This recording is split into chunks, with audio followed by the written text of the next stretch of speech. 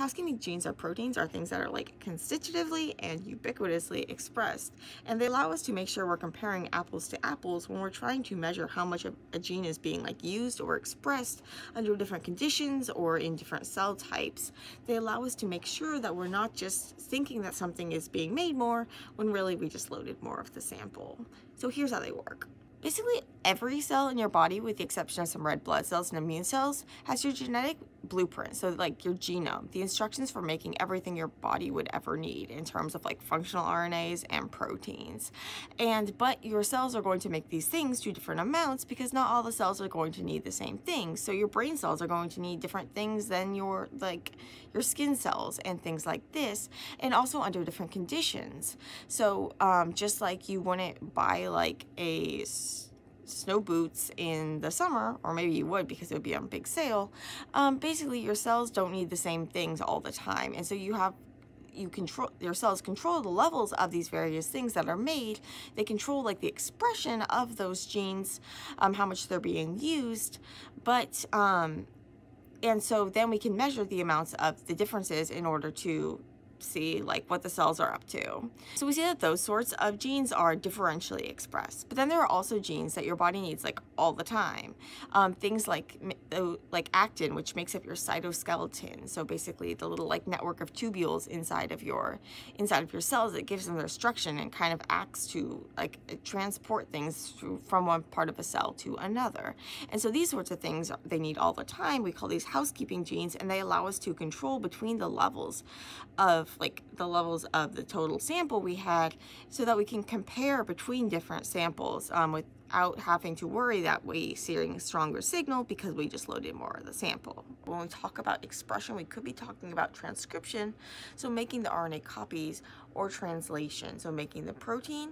And there are different techniques that we can use in order to detect changes in the amount of the expression, so either the transcription or the translation when we're talking about um, the transcription, we're talking about the level of making the messenger RNA copies.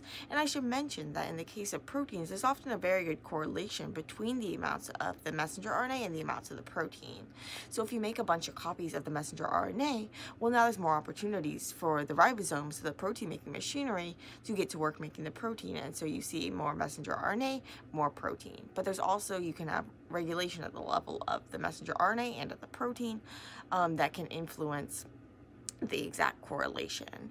But one of the ways we can test to see how much a gene is like being used, that is being expressed, is by measuring the amounts of messenger RNA copies. And we can do this with techniques like qPCR, um, which basically quantitative PCR, um, we, more specifically we use qRT-PCR, so reverse transcription PCR, where basically we make a DNA copy of that RNA, and then we use um, PCR in order to make lots of copies of that. So much more on how it works in other posts, but basically you're making copies of the amounts of messenger RNA copies that are present. And the more copies there are, the more we say the gene is being like expressed. Similarly, we can use a technique called a Western blot in order to detect how much of a very specific protein there are there is. In this case, we take all the proteins, we separate them by size using SDS page typically. Um, and so basically we run these protein, we unfold these proteins and we send them traveling through a gel. The bigger proteins get tangled up more in the mesh and so they don't travel as far. Um, when we turn off the power, which was, we, we had been using an electricity gradient, um, electricity for field to pull them through the gel, um, but but now we stop it and so they're higher up in the gel. And then what we can do is we can use antibodies, so these little proteins that recognize specific things.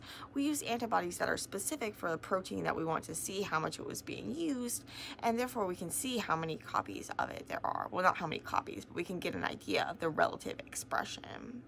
So we can see relative expression of the genes in the protein, but relative to what? So the amount of sample you start with is going to dictate how much you have in there, not only the amount of difference between different cellular conditions. So often what we're doing is we're trying to compare between conditions. We're trying to say, okay, in the absence of this drug, how much of this protein is there? Or at this time point, how much of this protein is there versus at this time point, how many, how much of this protein is there versus with and without the drug. So we're trying to compare different conditions. Now, if we say take a lot more of a sample from one thing than we have in another, we're going to see a lot more of that protein or of that um, mRNA, even if there's not necessarily more of it per unit area. So it's not being like expressed more, you just loaded more of your sample. So we need a way to be able to control for this. And this is where the housekeeping genes come in. So these are things that are going to be expressed basically the same in all the cell types. Because of this, you would expect that the level of this the strength of the band for say that protein or the level of the qPCR like the number of cycles it takes to reach a threshold. Um, so basically you count how many cycles it takes to get past a certain threshold because you're measuring the copies that's made and the more copies you start with the faster you'll rise to that so the fewer cycles you'll need. And so basically what would happen is that if you had a lot of something you would have fewer cycles but you could have a lot of it because you had more of the sample or because there was more of the, the thing present. But with a house with most genes you wouldn't know because most genes are going to be um, the genes that we're measuring typically we're trying to the reason why we're measuring is um, is because of differentially expressed in different cells. But then there are things um, in order to actually like make sure that we loaded the same amount. What we can do is we can normalize it to something that's expressed equally in all the different cell types. And this is where the housekeeping genes come in because we would expect the bands or we would expect that that cycle threshold to be the same for all the cell types, we can then just divide by the signal from that in order to normalize. So basically make it so that we don't have to worry about how much sample was added. Although we try to add the same amount, um, we can now kind of normalize in case the, the amounts were kind of different so that we're, we're doing equal comparisons. We're comparing apples to apples. We're comparing like equal cells to amounts to equal cell amounts and that way we can then look for differences between those different cells or between those different conditions rather than be looking and just be seeing differences in how much you loaded. So it's not quite as simple as just dividing by the signal for your housekeeping gene or protein. So in the case of a Western blot, for example, you need to calculate what's called the lane normalization factor for each lane and then divide the signal by that rather than dividing it just by the signal for that individual lane. So let me explain.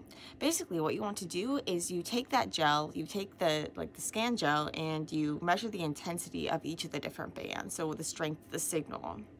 Find the lane on the gel or on your membrane that has the highest amount of signal for the housekeeping protein. And now for each of the different lanes, divide the, sig divide the signal for that lane's housekeeping protein by the highest one, and this will give you what's called the LNF or the lane normalization factor. So for the lane with the highest amount of the housekeeping protein, this will be one. For the others, it will be less than one. Now take the signal for the protein of interest for each lane and divide it by that lane's lane normalization factor. And this will allow you to compare between all of the different lanes um, with this normalized factor. So as I mentioned, like the most common housekeeping proteins we typically use for like a Western blot would be GAPDH, beta-tubulin, and beta-actin. And so GAPDH, if you're wondering, that's um, glyceraldehyde phosphate dehydrogenase. And so it's a metabolic enzyme involved in glycolysis, so like breaking down sugar. Um, beta-tubulin and beta-actin, those help make up those like cytoskeleton and the structure of the cell and move things around. And so these are things that your cells are going to need all the time. So your cells are making them all the time, but are they really making the same levels in all the cells? Maybe not. And so this paper that I'll link to, basically they went and they looked through data from the cell, the protein expression of different genes in different cell types and that sort of thing. And they found that the ones we commonly use aren't that great. Um, they have more variability than we've traditionally thought, um, and they suggest some ones that they say are better. Um, and so I will link to this paper so you can check it out yourself um, if you would like to.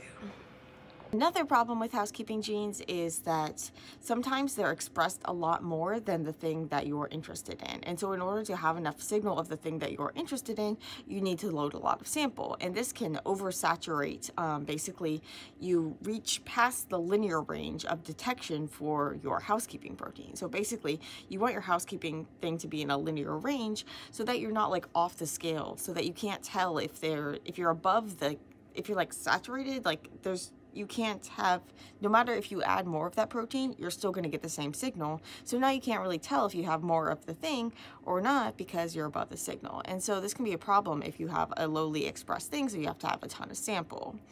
Um, so there are things that you can do in order to make sure that you have a normalization protein that's in the linear range, um, and you might have to choose your normalization protein this way and things like this.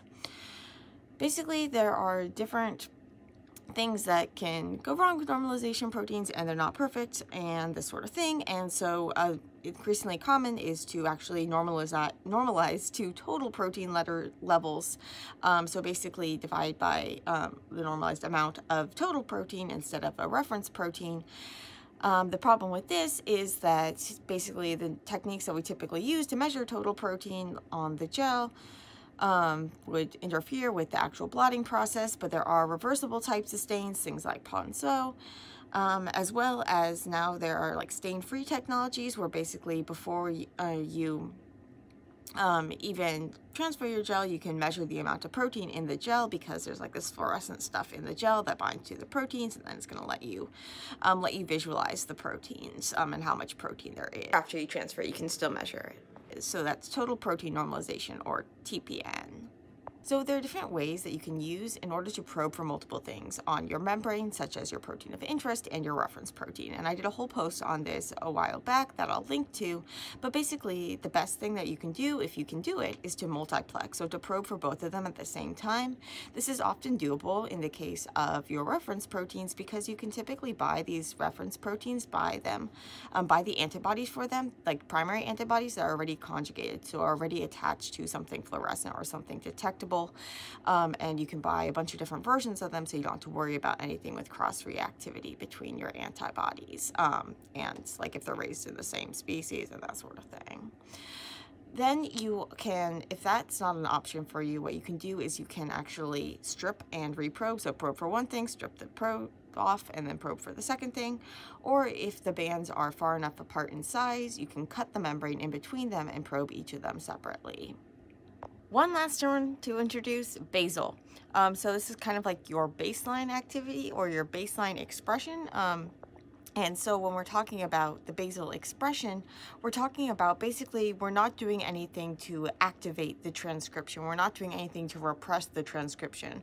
So we're not like messing with just kind of like the cell's normal going about its business. Um, and so the basal expression is just kind of like this baseline expression. And in the case of the housekeeping genes, we would want that baseline expression to be very similar between all these different cell types and under all these different conditions, rather than having it so that your expression is going to be wildly different from that like basal expression or rather having it that your basal expression in these different cell types is different. Um, so with the housekeeping genes what you want is really just like this total consistency. Unfortunately as we saw this isn't always what you get um, but that's like the ultimate ideal and that's what you're relying on when you're using these housekeeping genes as your sort of references that is what we mean by like housekeeping genes and stuff. And so remember, this would be things like GAPDH or actin. Um, basically, you run it, you test for it in the same sample that you're testing for what other things you're looking for. And this way, you're able to do a direct comparison between your samples by normalizing for the amount of the thing, like amount of the total content that you added. So heads up, hands down, high five for um, housekeeping genes. And speaking of housekeeping, I'm gonna go like clean my room.